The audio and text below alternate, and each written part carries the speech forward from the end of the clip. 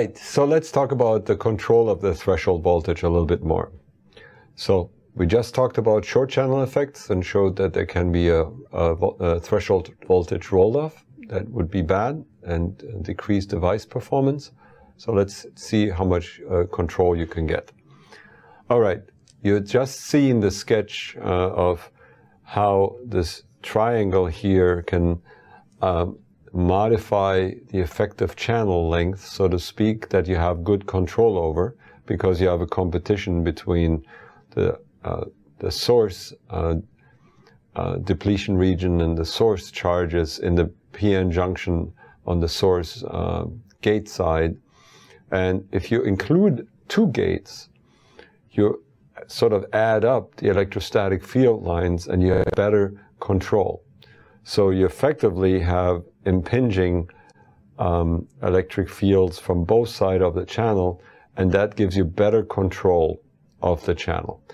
So that's called, this technology here is called silicon on insulator. So you have a very thin channel slab of silicon that actually sits and has been grown over silicon dioxide and you have a gate underneath and you have silicon dioxide on the top or some oxide and then uh, the gate voltage. So you have two gates that are hooked up together uh, electrically and they can control uh, the channel better.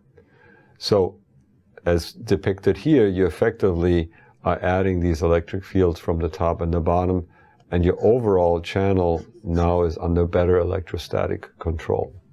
Okay. Now, the three-dimensional ultimate example of that is rather than just having a slab of electrons, this is the FinFET. Okay, the FinFET is pretty tall. Uh, in, as you've seen, I had shown you in the earlier slides a sketch of this. So it's taller than in the sketch, but it means you have electrostatic control all the way around this channel. I mean, not quite all the way around, right? It's, it's a wraparound, sometimes called an omega FET or X FET. Uh, but basically the gate wraps around and you can think of it just like squeezing a garden hose, if you will. And, but you squeeze it from, from three sides, okay? So there you have better electrostatic control. Here's an animation I made with a nanowire tool on NanoHub. You can do this with a quantum simulation in a tool called OmenWire, where you can see uh, here's a plot on the bottom right. That's the electrostatic potential for different modes that are existing in the wire. Remember, we have uh, a quantum state, we might have ground state and excited states. And if you ever calculated an electromagnetics uh, TE modes into a, a in a, um, a waveguide. This is similar. You have quantized modes for electron conduction. And there's, in this example, there's uh, these three modes. And the electrostatics control all three modes.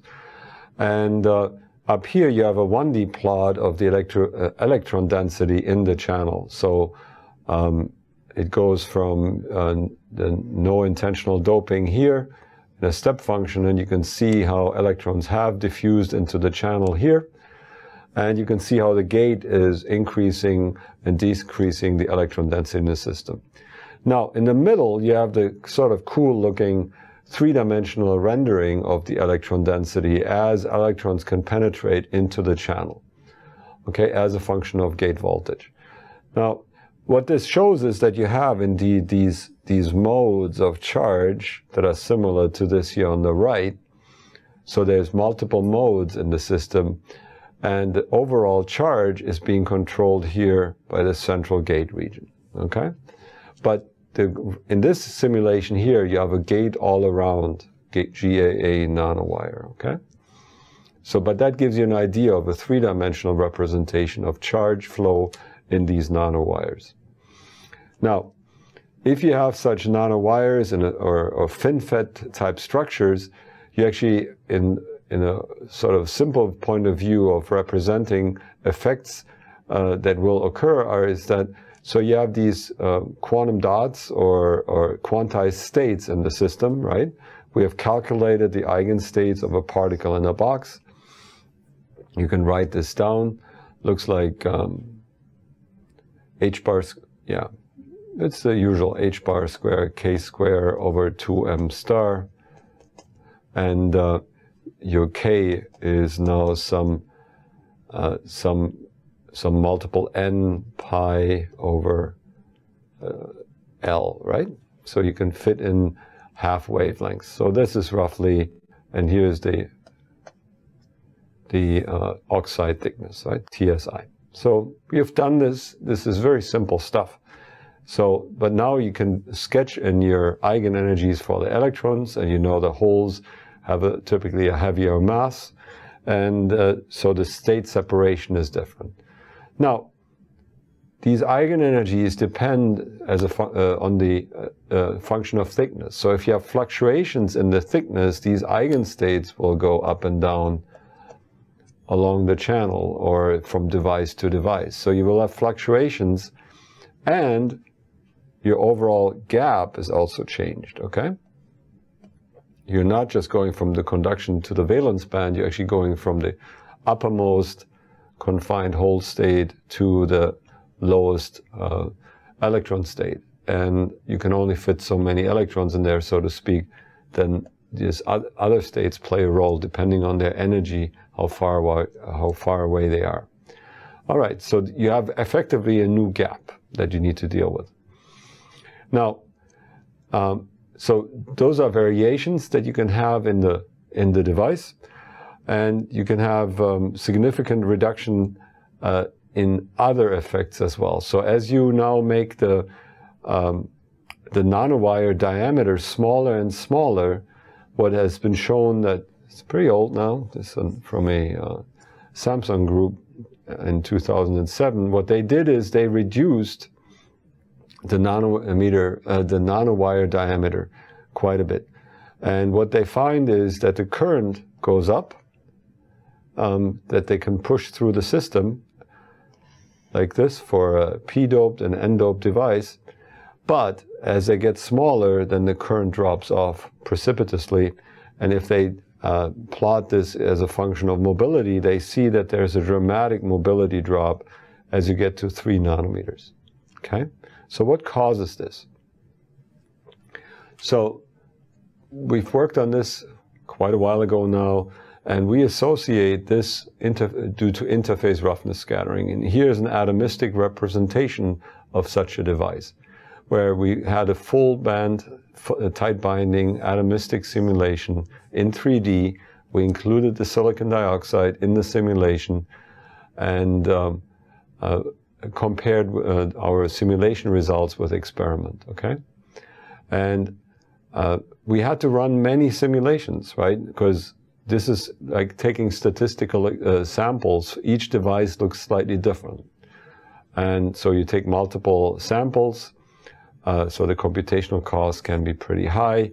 Uh, the electrons can penetrate into this uh, oxide region, so they can tunnel in there. So we accounted for that by, by including that in the transport domain. And um, as we make this uh, a non-ideal wire, the computational cost increases a little bit. Okay, actually it increases quite a bit because for us the number of atoms in the cross section is critical.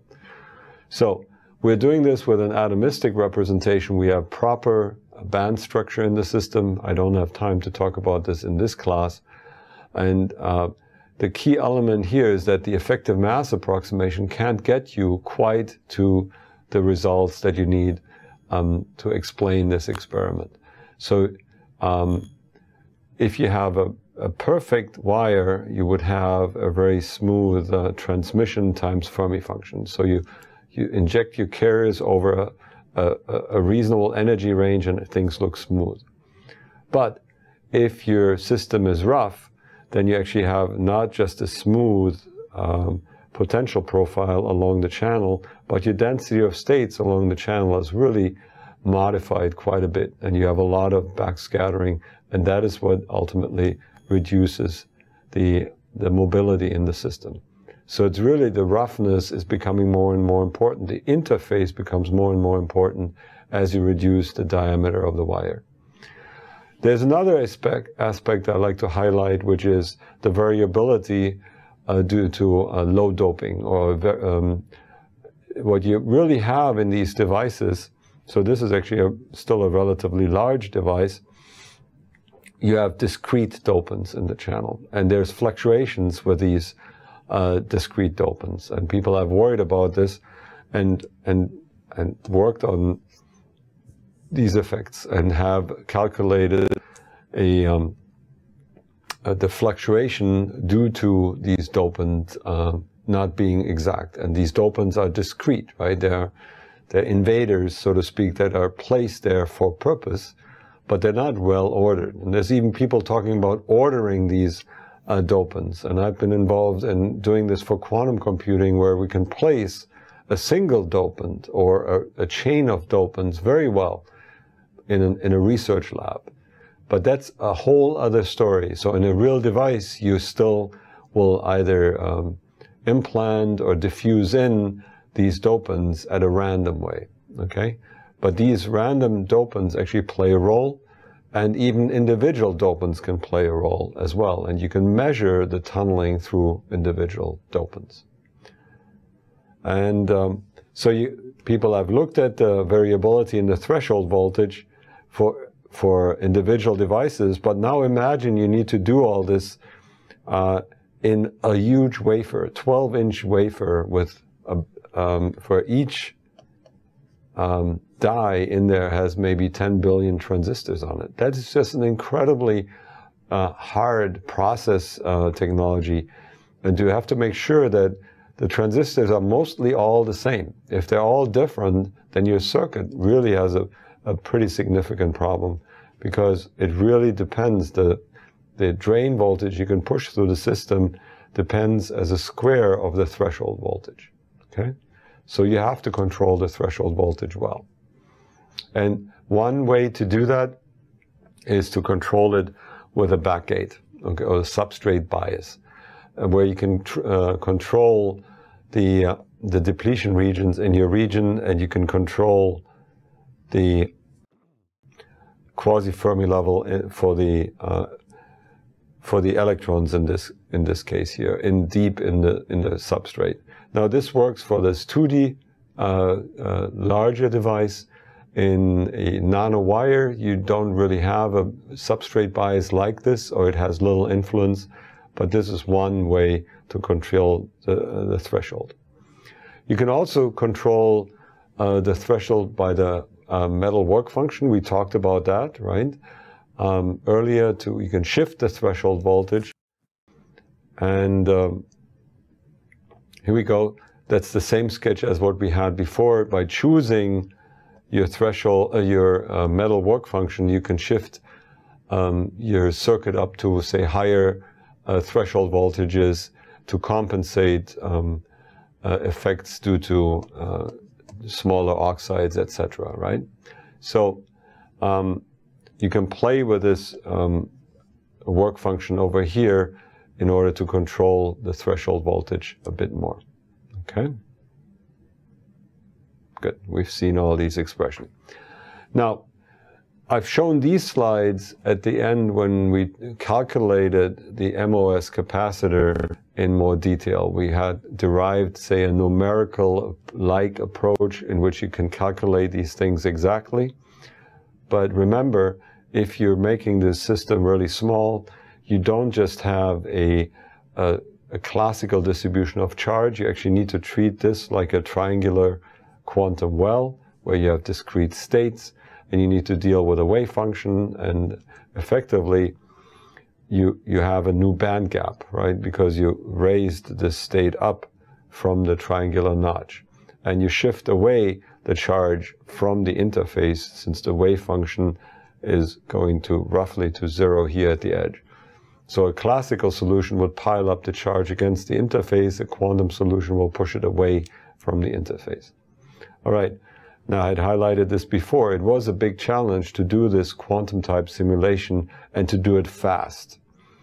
And if you have uh, the traditional approach where we don't know how to deal with open boundary conditions, where you just say, I'm making this a big part of the or make this a closed box and I calculate the eigenstate in this system and I, I kind of just worry about these states, well, you won't get the right result because you really don't calculate these states up here that are continuum broadened states. So we had developed a methodology for that in this NEMO software early on, 97 or something.